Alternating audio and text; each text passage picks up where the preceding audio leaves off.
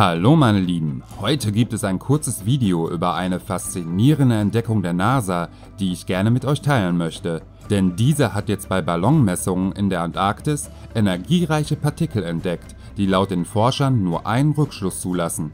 Es gibt ein Paralleluniversum, in dem die Zeit rückwärts läuft. Doch was lässt die Forscher zu diesem Schluss kommen?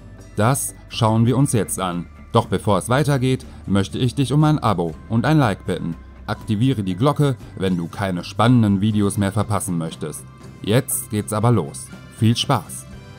Der Wissenschaftler Peter Gorham von der University of Hawaii und seine Kollegen von der NASA kamen zu dem Schluss eines rückläufigen Paralleluniversums nach der Auswertung mehrerer Messungen in der letzten Zeit.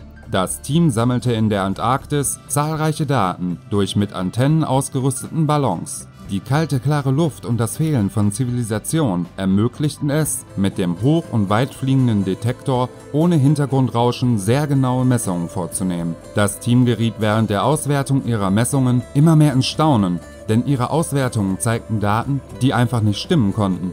Auf der Suche nach Partikeln aus dem Universum dachten die Forscher nach der zweiten Ballonfahrt noch, die Signale seien einfach nur akustische Störgeräusche.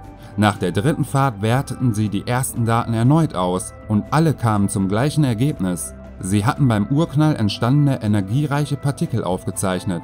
Diese trafen aber nicht vom All aus auf die Erde, sondern wurden dort ausgelöst und gingen den entgegengesetzten Weg, weil aufgrund dessen alle anderen naturwissenschaftlichen Erklärungsversuche einfach nicht mehr passen, kommen die Forscher zu dem Schluss, dass ein Paralleluniversum existieren muss, das sich nach dem Urknall in die andere Richtung entwickelt hat. In ihm sei alles negativ, unter anderem auch die Zeit, die sich rückläufig zu unserem Universum bewegt.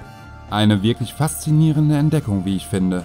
Was meint ihr? Schreibt mir in die Kommentare. Ich freue mich schon auf eure Sicht der Dinge. Na dann, bis dann.